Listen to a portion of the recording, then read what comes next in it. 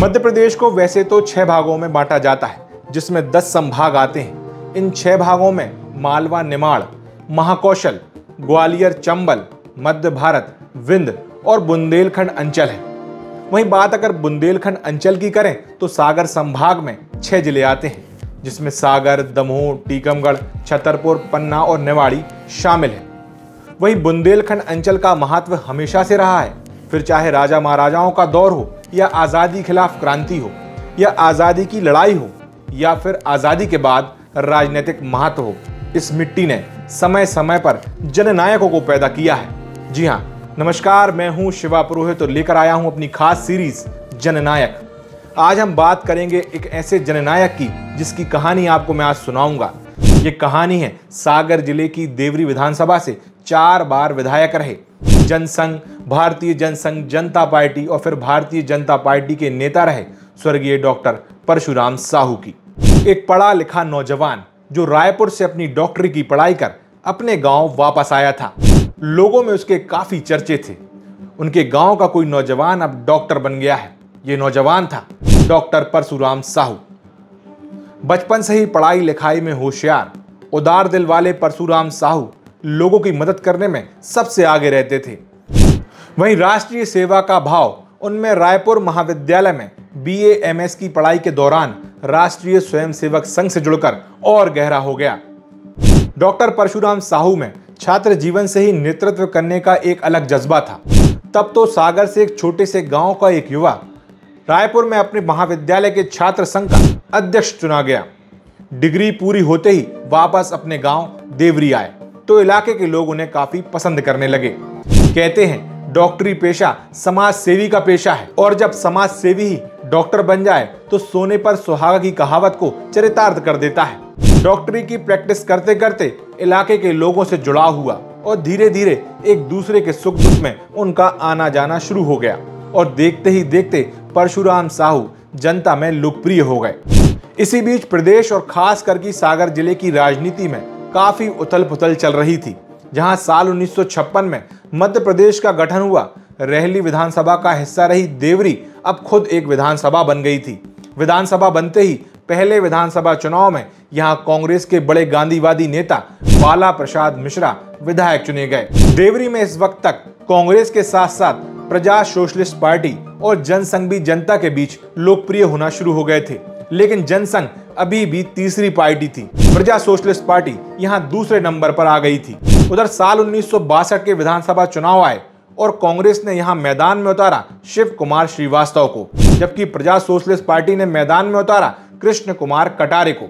जनसंघ ने यहाँ बाबूलाल सिंह को मैदान में उतारा। इस विधानसभा चुनाव में देवरी की जनता ने कुछ अलग करने का ठान लिया था। और इसका ये नतीजा हुआ, इस बार चुनाव जीते प्रजा सोशलिस्ट पार्टी के उम्मीदवार के के कटारे। लेकिन यहाँ एक बात और गौर करने वाली थी कि कांग्रेस यहाँ अब तक तीसरे नंबर की पार्टी बन गई थी, जबकि जनसंघ खिसक कर दूसरे नंबर पर आ गई थी। इस बदलाव को जनसंघ ने एक उपलब्धि के रूप में लिया। जनसंघ के नेताओं ने अब देवरी में एक ऐसे लोकप्रिय चेहरे की तलाश शुरू की, जो जनसंघ का चेहरा बने और जिताऊ चेहरा भी हो। वहीं दूसरी तरफ़ डॉक्टर परशुराम साहू भी डॉक्टरी के साथ साथ समाज सेवा में ज़्यादा वक्त देने लगे। आरएसएस से पहले ही जुड़े होने के कारण जनसंघ के नेताओं के संपर्क में आ गए और साल उन्नीस में उन्हें भारतीय जनसंघ ने अपना उम्मीदवार बना दिया। उनका मुकाबला हुआ सिटिंग विधायक कृष्ण कुमार कटारे के साथ। साथ ही कांग्रेस ने द्वारका प्रसाद कटारे को मैदान में उतारा। साल उन्नीस सौ सड़सठ में हुए त्रिकोणीय मुकाबले में डॉक्टर परशुराम साहू जनसंघ की उम्मीद पर खरे उतरे और जनसंघ चुनाव जीत गए। चुनाव में कुल तैतीस वोट पड़े जहाँ भारतीय जनसंघ के डॉक्टर परशुराम साहू को मिले बारह वोट। वहीं कांग्रेस के द्वारिका प्रसाद कटारे दूसरे नंबर पर रहे उन्हें मिले 11,310 वोट।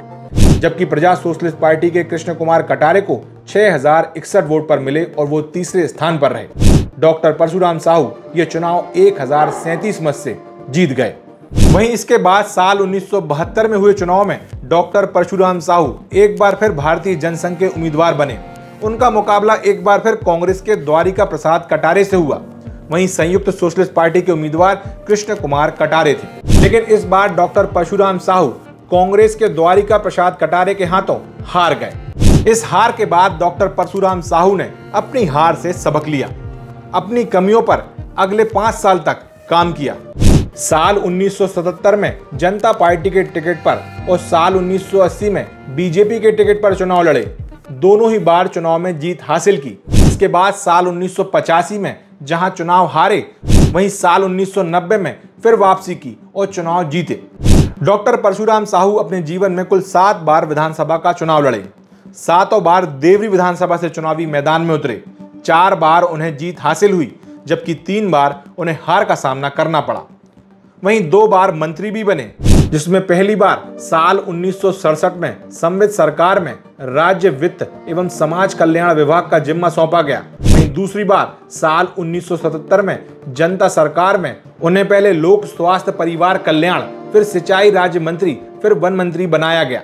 डॉक्टर परशुराम साहू ने अपने कार्यकाल के दौरान कई सारे कार्य कराए। उन्होंने देवरी विधानसभा में सिंचाई के लिए मसूर, बावरी, मध्यम सिंचाई जलाशय योजना को साकार किया। कई गाँव के किसानों को बड़े पैमाने पर सिंचाई की सुविधा उपलब्ध कराई। तो वहीं क्षेत्र के लोगों को परेशान ना होना पड़े, इसके लिए तहसील और फिर सिविल कोर्ट की स्थापना कराई। स्वास्थ्य सुविधाओं के लिहाज से देखें तो देवरी में 30 बिस्तर वाला अस्पताल, महाराजपुर, गौरझामर, टड़ा, बरकोटी सहजपुर में प्राथमिक स्वास्थ्य केंद्र, उन्हीं के कार्यकाल की देन है। दस आयुर्वेदिक अस्पताल, देवरी नगर में होम्योपैथिक अस्पताल उन्हीं के कार्यकाल में शुरू हुआ। शिक्षा के क्षेत्र में कई गाँवों में हाई स्कूल, मिडिल स्कूल खुलवाए। क्षेत्र में 20 नगरों में नल जल योजना का शुभारंभ कराया। इसके साथ ही मंडी, बीज प्रक्रिया केंद्र उप कौशालय कॉलेज, टेलीफोन का विस्तार, अनेक सड़कों का निर्माण, आदिवासी उप योजना तथा बिजली संकट दूर करने के लिए 10 करोड़ रुपए की 132 केवी के विद्युत उपकेंद्र का शुभारंभ उन्हीं के कार्यकाल में हुआ। बुंदेलखंड में पहले जनसंघ और फिर भाजपा को मज़बूत करने वाले डॉक्टर परशुराम साहू ने अपनी राजनीतिक जीवन में संघर्ष किया। संगठन में वह प्रदेश उपाध्यक्ष जैसे पदों पर रहे, लेकिन आज उनके परिवार की पार्टी में ही पूछ परख कम हो गई है। उनके बेटे हेमंत साहू अपने पिता की विरासत को संभाले हुए आगे बढ़ा रहे हैं। वो लगातार क्षेत्र में जनसंपर्क भी करते देखे जाते हैं। उन्हें अपने पिता के नाम का जन समर्थन भी मिल रहा है। हेमंत साहू देवरी विधानसभा से बीजेपी के टिकट की दावेदारी कर रहे हैं। लंबे समय से वो पार्टी में अहम जिम्मेदारियों को भी बखूबी निभा रहे हैं। आज जहाँ चुनाव में टिकट जातिगत समीकरण और धन बाहुबल देखकर दिया जाता है, उस वक्त डॉक्टर परशुराम साहू देवरी विधानसभा में ये सभी गणित फेल करने वाले नेताओं में थे। उनकी जाति के वोटर्स ना तो निर्णायक थे, ना ही उनके पास इतना धन था कि उसका प्रभाव वो चुनाव में दिखा पाते। एक जमीनी नेता जो हमेशा देवरी की जनता के लिए अपना सब कुछ निछावर करने वाला था डॉक्टर परशुराम साहू को हमेशा हम यूँ ही याद करते रहेंगे।